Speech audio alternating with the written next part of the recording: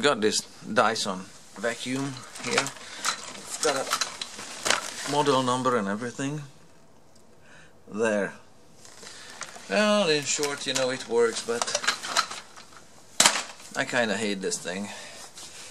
So, uh, the good, the bad, and the whatever in any random order. Yeah, the the motor is mounted in in this big ball joint. Uh, the vacuum has it's lots of plastic components and everything snaps together. It's got it's articulating and pivoting and tilting and rotating at more places than than a circus acrobat. That also means that with the many joints, uh, pipe to pipe connection, there is, there, there is a loss of suction at every single joint and gap and imprecise fit and snap fit and uh, lid and everything. The components kind of come apart and there is some labeling on the product and how this all comes apart but it's it's a miserable 3D puzzle I tell you that. Uh, this dust canister comes off and it opens it it, it's got a little plastic tab on it like this you can see nothing on the box says that it opens. Of course you need to read the manual. Yeah we don't know where the manual is so good luck with that. The uh, the PVC canister was clear initially when it was new but due to uh, friction with uh, dirt particles dirt is very abrasive. It's basically quartz is what dirt is made of and uh, it chews up the plastic in no time so I don't know how to fit it back together. It goes somewhere there in one way. Let me just think about it. Okay here's this square shape. That square shape looks like it's much in there and then just and then just not even friction fit like good luck providing a good seal from there to there. Yeah because it doesn't latch onto anything. Alright got a it's got a washable filter the filter looks like this on one side and this is how it looks on the other. The filter lives under here. Here it says it's washable. Well there are those pictures on it and sunshine and then put it back with the with this marks up top or facing up.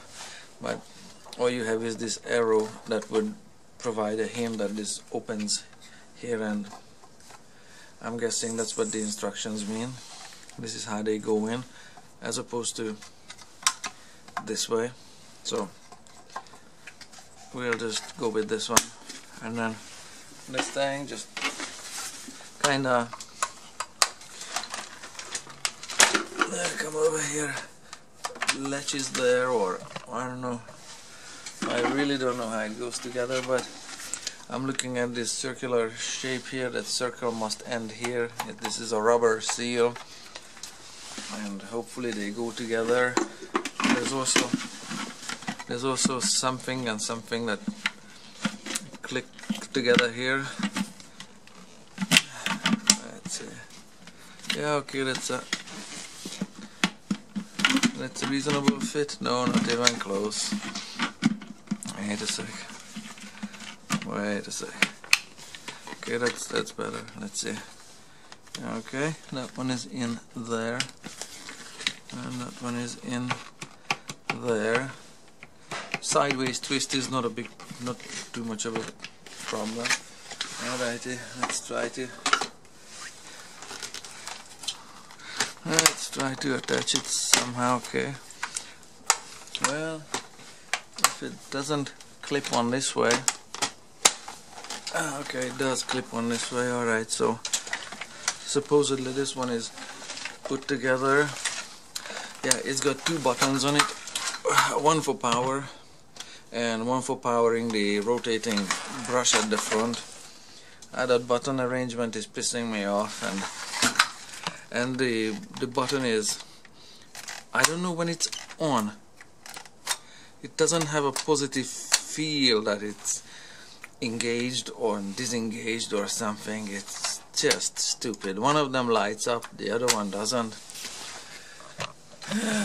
I just hate it okay?